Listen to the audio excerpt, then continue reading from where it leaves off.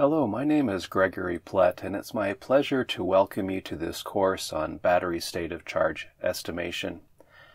This course is the third in a specialization that investigates the proper management and control of battery packs, usually battery packs comprising many battery cells. A significant challenge for battery management system algorithms is that they must estimate quantities that describe the condition of a battery pack, but which are not readily measurable. The big picture for battery management system algorithms is shown in the illustration on this slide. It describes the critical functionality of a battery management system from the perspective of the algorithm design engineer.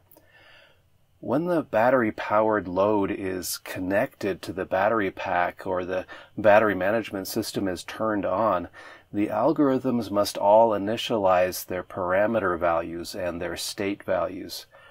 Then the algorithms enter a loop which repeats periodically while the battery powered load is active and connected to the battery pack. The first step in this loop is to measure cell voltages and pack current and module temperatures. A subsequent step is to use these measured values to update estimates of the state of charge of all of the cells in the battery pack. An additional step is to update the estimates of the states of health of all the cells in the battery pack. And furthermore, the cells must be balanced, and finally, we must compute power limits for the battery pack. The repetition rate for this algorithm loop is part of the design process of creating a battery management system, but typical rates are between 1 and 50 times per second. When the battery powered load is disconnected from the battery pack and the battery management system is turned off, the algorithms store their status information in non volatile memory for use the next time the battery pack is activated.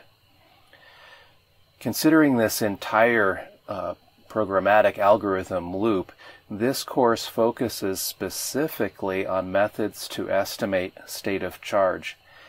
The next course in the specialization will focus on methods to estimate state of health, and the final course in the specialization will focus on how to balance cells in a battery pack and how to compute power limits. In this course, you will learn some preparatory definitions that are required to be able to talk consistently and precisely about the problem of state of charge estimation and we will also cover some background math concepts that will be used throughout the course. You will learn some simple methods to estimate battery state of charge and how these methods can fail because they lack robustness. A better estimate method is based on a technology that is called Kalman filtering. So you will learn how to derive the steps of the linear Kalman filter. Because this technology is probably unfamiliar to you at this point, we are also going to spend some time discussing how to think about the steps executed by this Kalman filter and how to implement those steps in Octave code and how to evaluate the results from that Kalman filter execution. Now, it turns out that the standard Kalman filter works only for linear systems, and our batteries are nonlinear systems. But we can generalize the Kalman filter to work with nonlinear systems as well. So the next step is for you to learn how to derive and implement one variety of nonlinear Kalman filter that is known as the extended Kalman filter. The extended filter can work very well in some situations, but it's not the best nonlinear generalization of the standard Kalman filter. So you will also learn how to derive and implement something that is known as a sigma point Kalman filter. Uh, it's also sometimes known as an unscented Kalman filter. And finally, you will also learn how to solve some real world problems using some side information that is provided automatically to you by the Kalman filter. After completing this course, you will be able to implement simple voltage and current based state of charge estimators, and you will understand their limitations.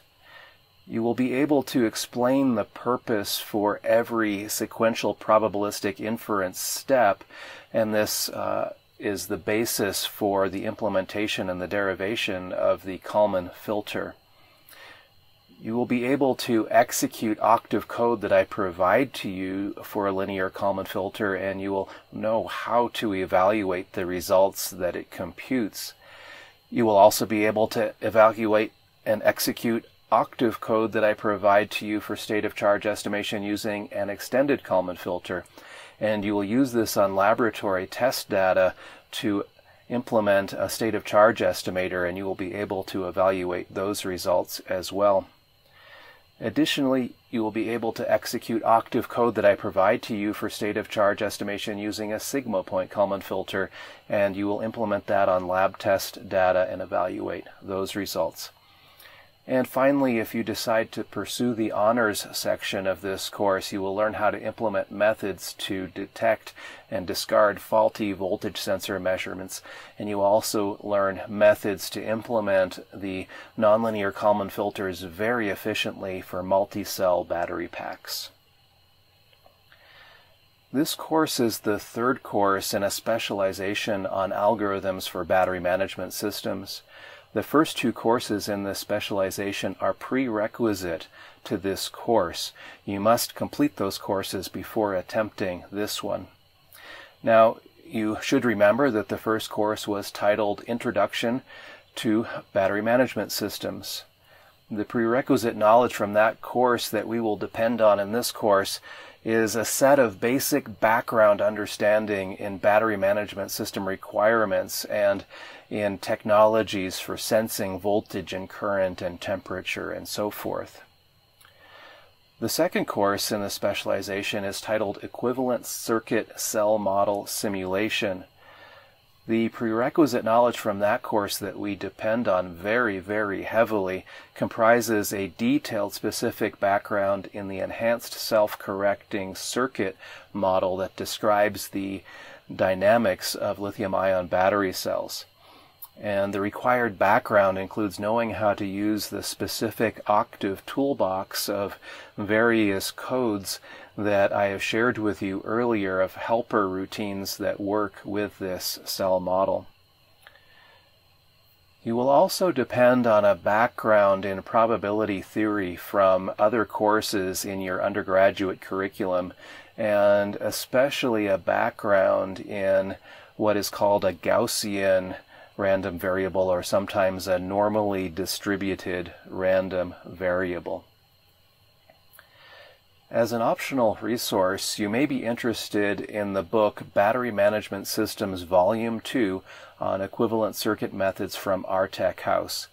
This course will be based on Chapter 3 from that textbook. Again, the book is not required to succeed in this course, but I believe that it could be valuable to you, especially for your future study, to have this optional resource. And that concludes this introductory lesson. And again, welcome to the course. I trust that you will learn some very valuable and helpful skills for implementing state of charge estimators for battery management systems.